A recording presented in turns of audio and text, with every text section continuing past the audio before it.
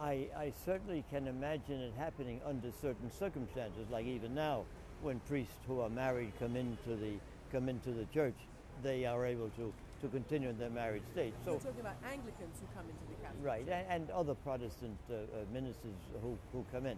So I think there's a, this is not a, an impossible situation. But you know, we, we have from the Lord and from the Epistle of St. Paul that, that, uh, that presentation of celibacy as a very important thing in, in, in, the life of a priest. I was a bishop of a diocese for 25 years, and, and you know, there's not only a spiritual advantage, a very practical advantage there. You want a man who is married with a family to move to another place where you desperately need him, and he says, I can't go. My, my wife has a job, my kids are in school, I can't do this. So th- there are factors, that, that, that these are not the major factors, but there are, for bishops who are trying to serve God's people, these are things that happen from time to time and are very important. But I think the, the, the, the nature of giving yourself to the Lord completely is hard to do. Maybe, maybe many of us don't do it as, as well as we should do. Maybe I'm not doing it well as I should be. You, you, you're selfish sometimes, you, you plan on things, but basically, just to give yourself to God, those are the priests who really touch God's people. Do you think it's time for a non European uh, Pope?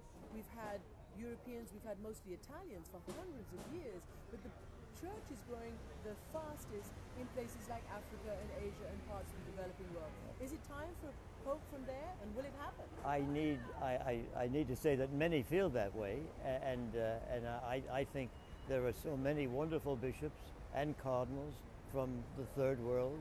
Uh, it would be certainly a beautiful thing to have to show the universality of church in that particular personal way.